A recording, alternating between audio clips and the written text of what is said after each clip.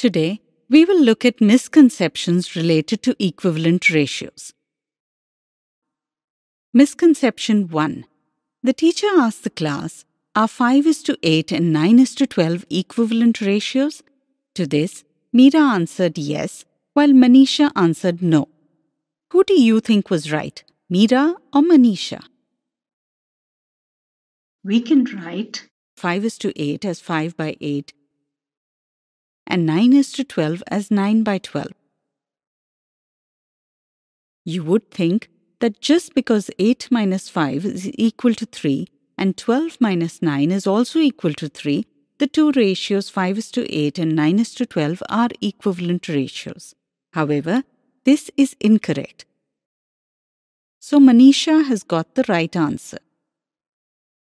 Manisha has understood that the ratios have to first be written as fractions and then their denominators have to be made the same.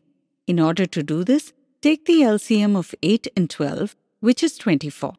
So, the denominators of both of the fractions has to be 24.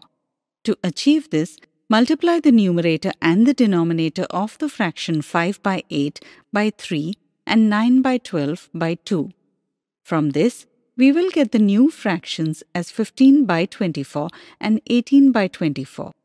The denominators of both the fractions are now the same, but the numerators are different. Here, 15 by 24 is lesser than 18 by 24. We can say that 5 is to 8 and 9 is to 12 are not equivalent ratios. Misconception 2.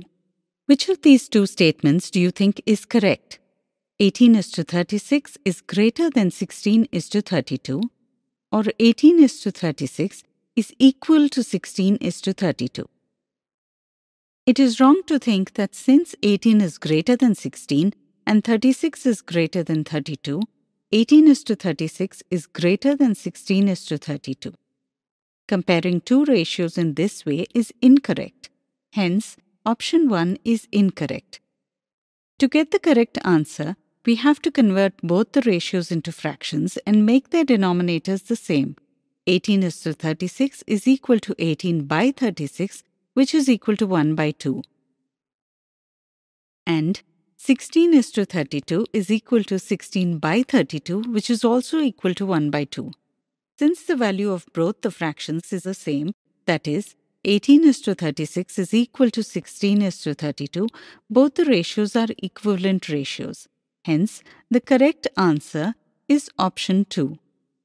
Hopefully, you have understood these commonly made mistakes and will not repeat them. Today, we saw a few misconceptions related to the equivalent ratios.